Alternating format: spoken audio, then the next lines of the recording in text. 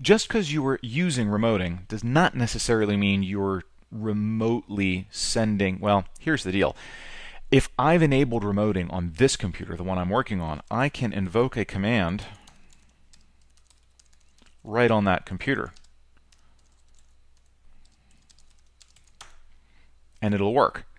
Uh, this isn't bypassing anything. This is actually going out the network on one port, coming back in on the port used by WinRM, submitting the command to a new PowerShell process that got spun up on my computer, getting the results of that command across the wire, and then allowing that second PowerShell process to shut down once it's finished doing its job.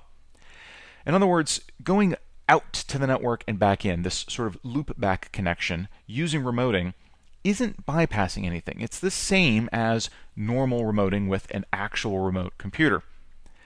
Uh, it's a great way to test remoting. It's a great way to include the local machine in a batch of computers that need to run a particular command. Just be aware that you are going out to the network, you are coming back in in a loop back to the computer through the WinRM service.